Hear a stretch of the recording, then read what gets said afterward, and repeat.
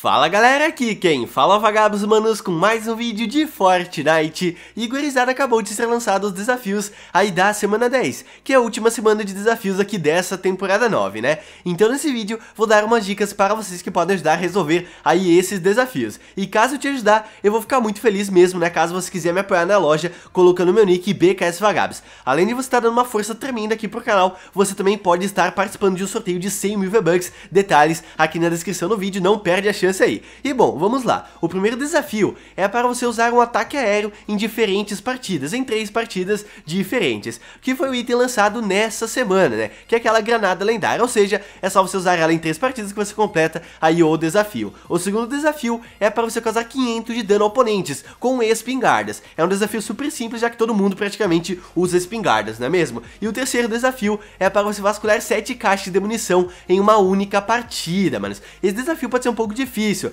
mas ele é bem simples caso você jogar no modo equipe tumulto, onde você tem mais espaço para ficar de munição, né, vai ficar muito mais simples de ser resolvido. Agora vindo aqui para os desafios exclusivos do pessoal que possui passe de batalha pago. O primeiro deles é para você visitar diferentes anúncios de serviço público, que fica em Torres Neu, lá na usina urbana ou no Super Shop. Bom, esses anúncios são os posters modernos, né, vou dizer assim, que ficam se mexendo, que dão meio que um aviso para você. Tem três tipos de posters diferentes. Um deles mostra uma mulher com uma mochila jato, o outro outro a ursinha rosa e outro uma plataforma celeste. E nesses três locais tem vários posters espalhados, ou seja, um desafio bem de boa, tá? Lá no Super Shopping só tem esses posters lá no shopping grande mesmo da cidade, tá? Você encontra um exatamente no local onde estou mostrando o vídeo, o resto espalhado aí pelo shopping todo. Lá em Torres Neu você encontra vários posters espalhados pela cidade toda, tá? E nos prédios e tudo mais. Você encontra um bem grande exatamente onde estou mostrando aí no vídeo e lá na usina urbana você só encontra os posters lá perto daquela parte de trás do robô, tá? Não no centro de usina urbana, naquela parte do lado ali, exatamente onde estou mostrando para vocês, você encontra um e o resto está bem perto também, beleza? Outro desafio possui três estágios. O primeiro estágio é para você coletar 100 de madeira, de um navio pirata ou um navio viking. Bom, o navio pirata fica lá no centro da Praia da Preguiça, né? Acho que todo mundo sabe, e o navio viking fica lá em cima da montanha, naquela área viking no mapa, bem perto de margens snobs. O segundo estágio é para você coletar 100 de pedra, de um garfo e faca ou de um guarda guarda-chuva. Garfo e faca fica bem perto de campos fatais e guarda-chuva bem perto lá do bairro, que são os locais do mapa que tem várias pedras e você consegue 100 de pedra, né, muito, muito fácil.